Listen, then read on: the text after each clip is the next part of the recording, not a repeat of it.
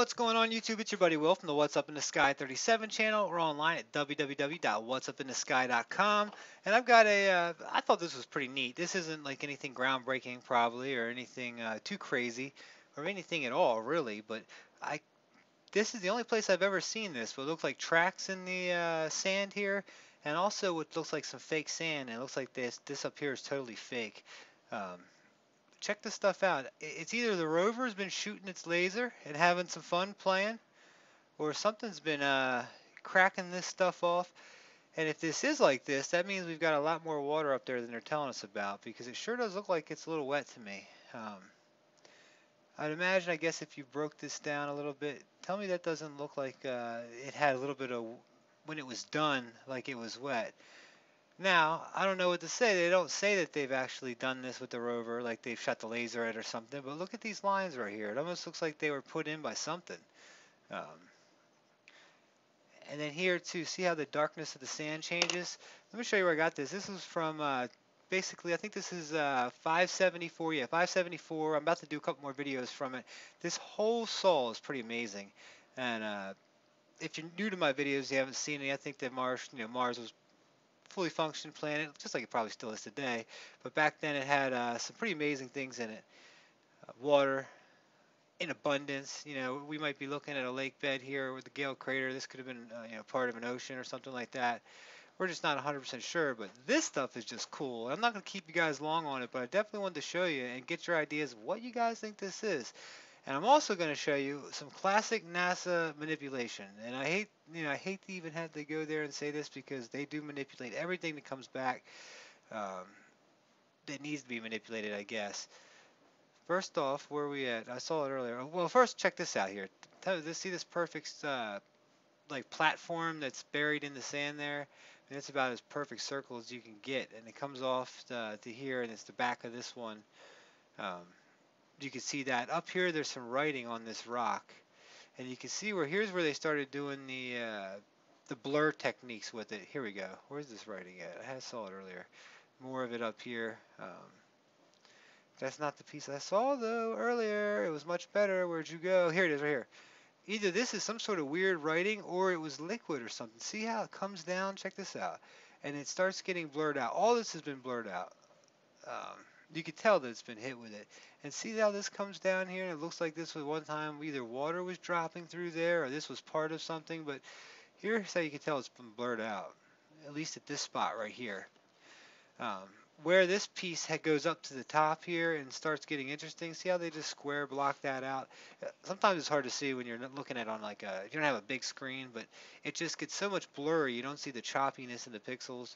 It looks like something was up there to hide. Um, but definitely something in the water, or something dripping down there for a while. Here again, you've got, well, see these blinds, things that they put in there and they hide. And more and more, I'm just thinking that uh, they're hiding whatever they find up there from us. And I guess that's just how it's going to be. Now, some people are saying, oh, it's just the, the pictures are coming back so blurry. Um, people, some people are just saying, oh, that's just the rover getting old and things like that, or dust on it. I'm just not buying it. I don't know why. I mean, we spent two billion dollars. It's got a nuclear uh, drive to it. I mean, nuclear powered. That thing could last forever. Um, the wheels are going to fall off it apparently because whoever designed the wheels should be fired. I've said that a couple times, but see how here? Tell me this sand here doesn't look fake as well. And here's where we've got some more of this blurring effect. And you can see it really good right here. See the blind effect that they put in right here? They've made it really big right here though. Perfect. It's all it just gets it gets more and more not lame but more and more obvious each time. I mean look how you can see here how it goes up, right? They don't even take the time to get in there really fine with it. And I guess with all the ones coming down, they probably don't have the time to get them all that fine. But here, here's another blur. Just chopped right out. What was here? See this right here? That doesn't match anything. That was pasted into it. So what's that? What's that hiding? Is there something here that's moving along the surface and making this?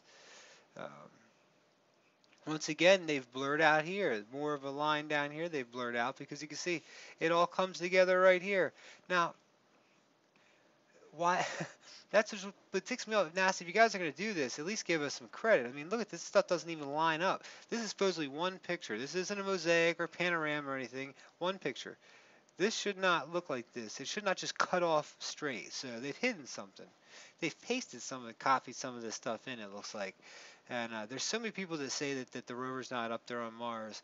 And I hate to hear that, but gosh, every time I see stuff that looks like they've been doing the, like they, they've been blurring stuff out, I just have to wonder why. Why are they doing it? Now let me change what I usually do. I usually do a, uh, the auto color make it look more like Earth. And uh, even then you get this. See, is this stuff cracked from water or was this done with the rover? Let me back it up a little bit. This was the one, sorry if I'm making you sick guys. This one looks like they had done a face or something. And maybe this is the laser. Maybe they're having fun with the laser up there. I'm not 100% sure, but whatever they're doing, or whatever this is, this is what interests me. Like, where they've cut or whatever's done this has either dropped this other sand down or water done it, and uh, surface water had done it recently. This hasn't been there for this long. Look how perfect that comes down like a uh, the, the drip drop spoon. Um, this stuff looks kind of like coral down here. Just interesting how it's all the pieces of it. But I'm gonna leave you guys with this one, and this to me, and I'm, I'm I'm gonna give this to my guys out there. You all know who you are, who comment. You guys rock. What do you guys think about this sand, especially the graphic guys? This stuff looks like it's been kind of, some of it's been put there to hide some stuff. Over here, just kind of dumped in, maybe possibly even right here. But if you go through it, you're going to see yourself, you'll see where they've uh, blurred stuff out, especially when you make it big. And uh, up here, like I said, it looks like T, T, I, Y, A, and looks like some things up here, and then you get, it just gets all kind of blurred out. And down here at the bottom, you've got some more of these little uh, things. So are these little critters running around making these tracks? Are we doing it? What do you guys think? Much love, guys. A quick, easy one for you. Let me know what you guys think this stuff is. It's just normal. I mean, um, everywhere else we've been seems like uh, it's real fine soil. Like it just comes right off the rover wheels. It doesn't stick to it. And that's not usually what you see when you make stuff like this. Like this looks like the guy that comes to Ocean City, Maryland and makes the sandcastle. He does amazing, uh, like Christian art. He does Christian arts like like the face of Jesus and then uh, like crosses and stuff. And uh, he uses the glue and the water. I mean, to get it to stay like that. But all right, guys, what do you think? What's up in the sky at 37? My name is Will. Take it easy. Peace.